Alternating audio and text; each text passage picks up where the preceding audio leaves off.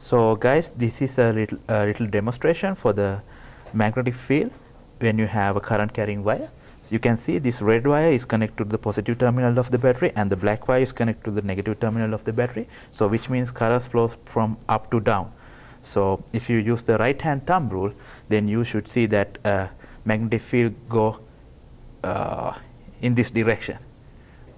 But if you see the compass here, they are now aligned in different directions because there is no current in the wire. But when I turn on the switch,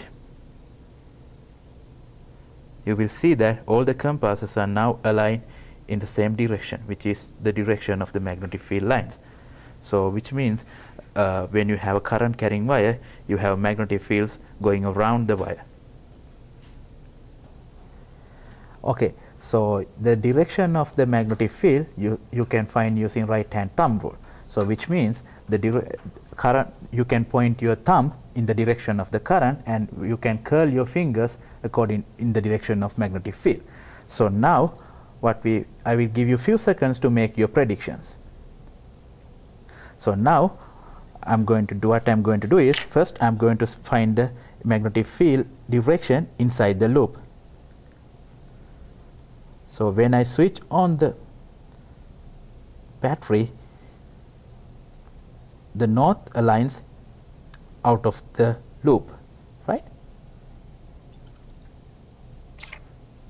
Right. So now I'm going to check outside the magnetic field outside the loop. So when I move the compass outside you can see that the north aligns into the loop. So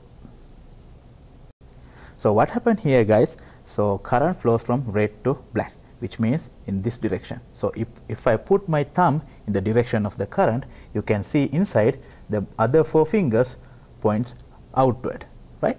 But if you consider the outside of the loop, the other four fingers point inward.